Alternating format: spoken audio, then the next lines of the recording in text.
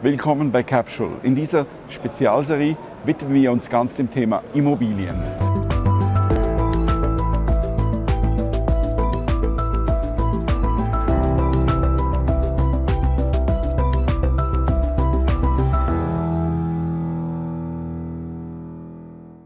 Wir sind hier an der IMO 22, der Immobilienmesse in Zürich.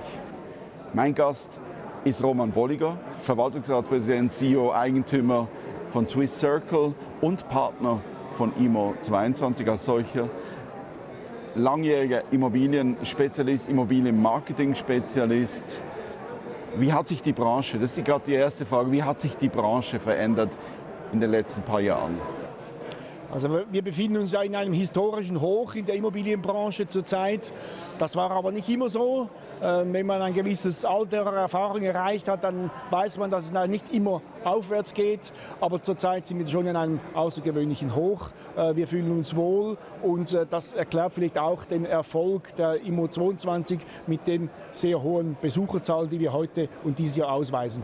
Wenn Sie die Branche anschauen, was ist schlimmer? Was, welche Wolke am Horizont ist dann schlimmer? Ist es die Tatsache, dass man ja immer das Corona-Wölkchen hat und mit Omikron ist es ja tatsächlich ein Wölkchen oder ist es dann, ähm, ich, wie würde man sagen, die Zinssituation? Was beschäftigt die Branche mehr?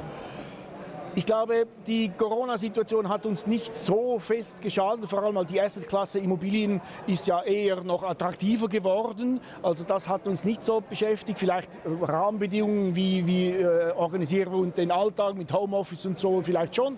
Aber der Branche geht es ja eigentlich nach wie vor gut.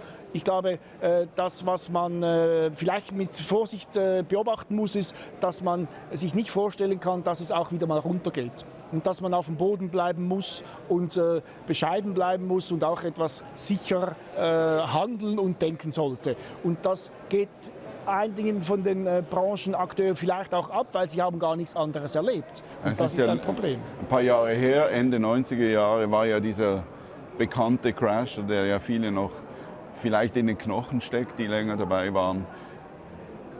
Jetzt Stichwort, was wir heute sehen, ist ja die Digitalisierung, die hat sich sehr stark verändert. Vielleicht hat die Corona-Krise hier noch einen Schub gegeben. Wie sehen Sie das jetzt als, als, als Spezialist? Ich glaube, Ganz bestimmt ist hier ein Schub passiert, weil vieles konnte nur noch online passieren und das hat natürlich diese digitale Aspekte hat das gestärkt. Wir sehen das in unserem Partnernetzwerk Swiss PropTech, äh, wo wir PropTech-Unternehmen, Startups ähm, und äh, PropTech-Unternehmen äh, zusammenführen und da hat sich sehr viel bewegt. Einerseits haben die Aufwind erhalten, andererseits mussten sie auch solange sie noch klein sind, müssen sie auch kämpfen mit vielleicht beschränkten Mitteln. Aber overall hat die äh, Corona-Pandemie doch vieles bewirkt da was positiv ist, weil viele jetzt auch gesagt haben, jetzt ist die Zeit, um zu digitalisieren, wobei vor, vorher war etwas Zurückhaltung da, aber jetzt sind viele offen und sagen, es wird in diese Richtung gehen. Was erwarten wir? Also ich habe gesehen, es hat auch viele Aussteller, die solche Concierge-Systeme anbieten, dass man nicht mal mehr eine ein, ein Willkommensdesk hat, also ein Büro ohne Empfang quasi. Wo, wo geht es dann hin? In welche Richtung sehen Sie das?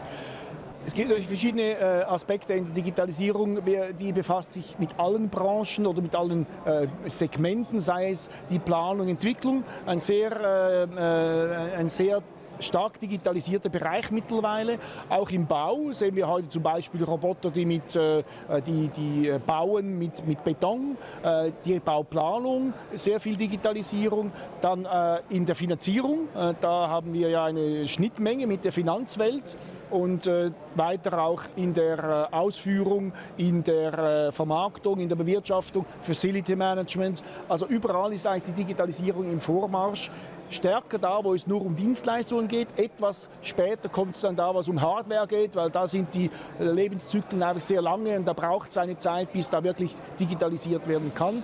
Aber bei den Dienstleistungen rund um Immobilien, da sind wir schon sehr weit mit digitalen Tools. Mhm.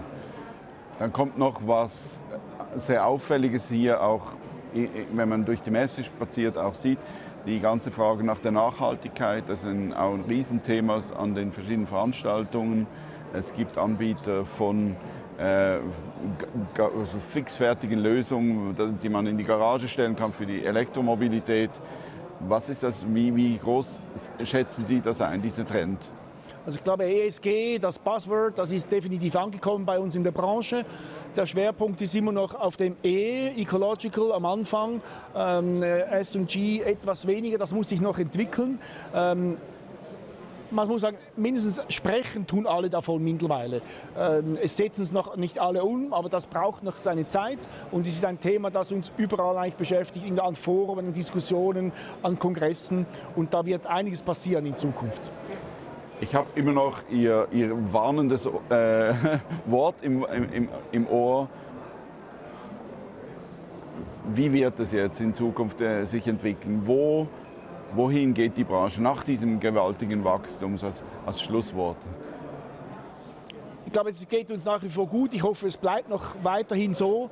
Ich habe etwas Bedenken, dass wenn es einer Branche gut geht, dann kommen plötzlich äh, Regulatorien, äh, die das bremsen möchten, äh, bewusst, unbewusst. Und vielleicht ist das eine Gefahr, die auf uns zukommt, dass wir uns sehr selbst beschränken, indem wir uns großen äh, Regulatorien unterwerfen. Aber sonst sehe ich eigentlich sehr positiv auch in den nächsten Jahren für die Immobilienbranche. Vielen Dank, Herr Bolliger, fürs Gespräch. Vielen Dank Ihnen auch fürs Zuschauen. Das war Capsule mit einer Spezialausgabe von der IMO 22, spezialisiert jetzt auf das Thema Immobilien. Vielen Dank und bleiben Sie da.